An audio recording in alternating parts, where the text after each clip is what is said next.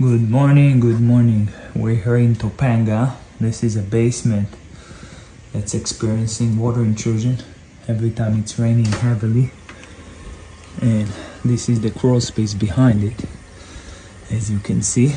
And uh, what we're going to do next is excavate this area, waterproof, and install a drainage system to collect all the water before intruding into the basement.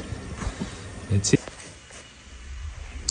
Good morning. This is the third day here in Topanga.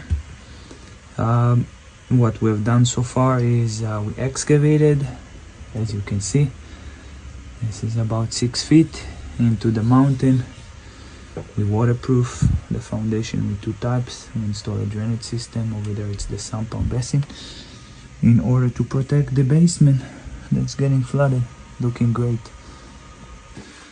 Okay, we're here in Topanga. We had this basement, it gets flooded every time it's raining heavily. Uh, what we have done over here in the crawl space in the back, we had to dig six, seven feet deep into the bedrock. Uh, we applied waterproofing materials. We installed a drainage system right there in the bottom. Everything is heading to a pump basin and then away. We also did some shoring. It's looking amazing.